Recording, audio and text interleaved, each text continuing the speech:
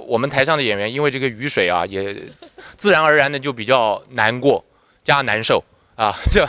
难受就是湿呃这个衣衣服会湿掉啊。但难过的话，因为我们都知道清明时节雨纷纷嘛，路上行人欲断魂。那我们真的呃符合这个情境，在雨中啊，老情人相见，相见还不如怀念。有的时候一句话都说不出来，那个眼泪刷刷刷的就就往下流了。然后下这么大的雨，是泪是雨都分不清楚。对，所以我们就想到了一首老歌，叫《雨和泪》啊。有些国家是吻和泪，没有和泪哦。哎，那是一首西洋怀念老歌。我相信我们这边旁边还有字幕，呃，有在台上南腔北调特别多，所以呈现在那个时候很多老兵啊，我们在台上有这个江苏话，有上海话，有这个河南话，有山东话，啊，还有台语，所以呃是一个语言的大集合，反映我们台湾这个多元文化的社会。练，那很多人不愿意谈演技两个字，好像认为自然就好。那老师给我们的启发是，如果你有演技还能做到自然，那就是最好不过的了。所以在演技方面，老师非常的雕琢，非常对我这个很很有要求。那我也希望可以达到呃老师的这个期许，因为这个角色是老师的经典角色，等于说是有一个李国修魔咒、李国修障碍在前面，不见得都可以超越得了啊。比方我们这个郭哥郭子乾要演这个老师的经典角色，他的压力也很大，对不对啊？皮肤都皱皱的。都是我们在台上皮肤也皱皱的啊，因为这个淋了很多的雨啊。一个是本鱼，一个是珊珊。这个珊珊是演我的这个老齐的，就是在民国三十八年、三十九年在逃难的时候，呃，在战乱的就等于是战火情人吧啊。呃，他是我的原配。那么刚刚大家看到的就是在民国七十九年，那老齐回家去探亲的时候见到他的那一幕。那这个在移居台湾之后，就爱上了这个歌女咪咪，是由本鱼来演的。所以我这个心里面就非常的纠结，在我的意识上，在精神上面在思想着这个故国大陆的呃旧情人。但是眼前的一切都把我的心逐渐的掏空，我把我的一切、我的爱、我的情、我的生命、我的金钱全部都掏出来给这个咪咪了，最后下场很、很、很凄凉啊，很凄凉啊，且很悲苍这样子。其实我我本身的个性比较比较 man 一点，但是歌女你要因为要虏获这些北北北北叔叔的心，所以就要非常的娇媚。那就是对，就是要把另外一面拿出来这样子。那我觉得一人分饰两角非常过瘾，这也是屏风的特色。那在就在演戏上面，其实会有不同层次，还有各不同不，你等于一个戏里面你就接了两个角色，非常的划算，我觉得。呃，因为本鱼他这个演技自然不在话下，那咪咪这个角色十分的适合他。这个演技之余，大家看看他的这个扮相就知道，简直就是四个字可以形容，就是风华绝代啊。非常漂亮，她非常适合这个装扮，真的很很美很美。要看到我这个老齐是，啊，老气，上气不接下气的。这个胡瓜啊，瓜哥也说过，现在很多八零年九零年代小孩子，如果你没有看过蒋经国，也就是他推动了我们国家十大建设的话呢，我今天这个造型，你看了蒋经国，也就是蒋中正的儿子，他当年就是长这个样子。相似度呢达到百分之九十，当然我在这里面不是演蒋经国传，我是呢呃一个也是从福建厦门呐那个东山岛来的老兵，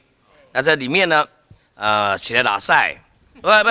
在红包场呢是在这边呢游戏人生的，但是呢一生也因为呢大时代下的悲剧，既然回不去，台湾呢呃也成了一个呢另外的一个就是。思念不如怀念，怀念呢，干脆呢，就是把自己呢，在红包场里面呢，不断的留恋啊，留恋在红包场的一个，呃，小高啊，高富壮啊，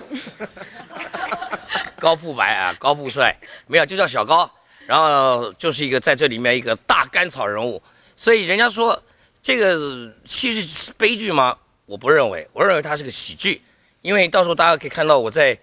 呃，喜剧这方面呢，我运用了很大的一个特殊的，而且不同于以往的董志成呢，很大的能量，我把它散发在舞台上。我要每一个人坐进来的人呢，是又有鼻涕又有泪，但是泪是笑出来的，不是感动哭出来的。像这次玉堂导演，他就是有加一些现代的一些呃基调跟氛围，啊，让让那个年轻人的一些符号，呃呃，更贴近现代年轻人可以接受的那样的轻快的程度。然后呢，国修老师在呃两个礼拜都都有来回来看我们，然后我看他在调整光耀的戏的时候，哇！好好看哦，就是那种高手过招，你知道吗？他就是跟光耀这样稍微讲几句，光耀就就通了，任任督二脉就被打通。他就跟光耀说：“你这个时候就是那个画面，画面，画面。好，那你那边呢？呃，你你你这个小道具跟你你的那个关系呢？你你要用小道具来表达出你的那个心情的焦虑跟处境跟什么？哦，老师这样一一讲，那光耀就。”完全能够心领神会，我觉得啊，完全就是看到高手过招，所以嗯，我也不担心说光耀在诠释这样的角色，只是呃。老师在在呃传授给光耀的时候，真的是一点都不藏私，真的很棒。真的真的，大家有看到我其中一个角色，就是呃舞女嘛，就一个要出关的红极一时已经要出关的歌女这样。啊歌女对。然后呢，第二个角色呢，可能今天大家比较没有看到，她是一个崩溃的新娘，就是说她在里面呢 是一个对是。大爆笑的一个点，如果他们这边是浪漫的，呃凄凄苦的浪漫故事的话，我们那边呢就是一个对，就绝对是现代人可以理解的，就是想结婚的，已经结过婚的，都可以知道那个过程有多么的繁琐，多么的幸福，多么的令人崩溃，然后多么的好笑。那我们就是负责在呃这一块在做那个幸福的好笑这件事情，然后当然就是呃可以那个。就是丽英姐在也帮我盯着嘛，就二十四年前的这个角色，然后就很开心，然后当然也很谢谢，就是国修老师，其实在过程当中都还蛮信任我，给我很大的空间，那演起来自然非常的过瘾，相信观众也可以看得非常的过瘾。然后他穿着在台上最华丽、最。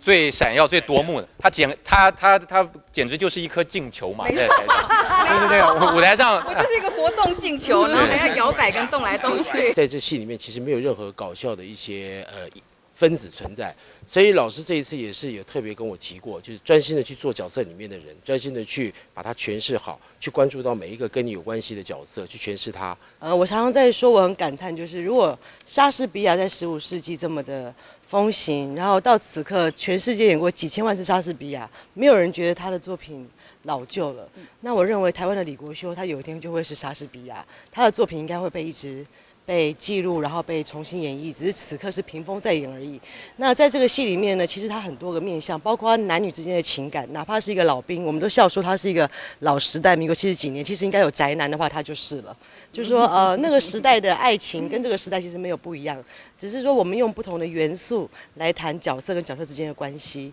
那这个戏里面有笑有泪，有爱情，有亲情，甚至有新婚夫妻，有嗯。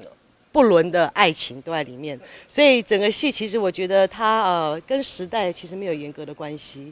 对，在跟因为我是一个女性，所以对于三个老兵的故事啊，我要去怎么了解这三个老兵的臭脾气，我花了一点功夫。然后呃，可能国生那时候自己在演，所以国生老师他对老兵的诠释跟光，我觉得光耀的这一次的表达是比较符合现代观众会去觉得哦，原来老兵北北有这样子的形象。我觉得我们有做一些调整。比方说，比方说，我呃小时候呢，我呃有朋友住眷村，然后呢，我我常常看到老北北有一个臭脾气，就是说他跟他台湾的老婆会有那种吵架，然后吵一吵就不说话，就那个臭脾气。那我觉得在这个戏里面呢，呃，刚哥跟丽颖姐的角色里面就有这样子的东西，然后还有戏里面董哥跟光耀跟朱德刚他们三个有老兵的那个争执，为了爱国爱家跟爱干女儿的故事。在这个过程当中，我就会把三个老兵的那个冲突呢，调到一个我觉得现在年轻人在看会觉得啊，老兵北北好可爱哦。国修那个时候版本是比较真的是认真严肃在讨论那个议题。我觉得这个东西很多是在细微的角色跟戏剧动作变化上面，我们有比较 light 一点，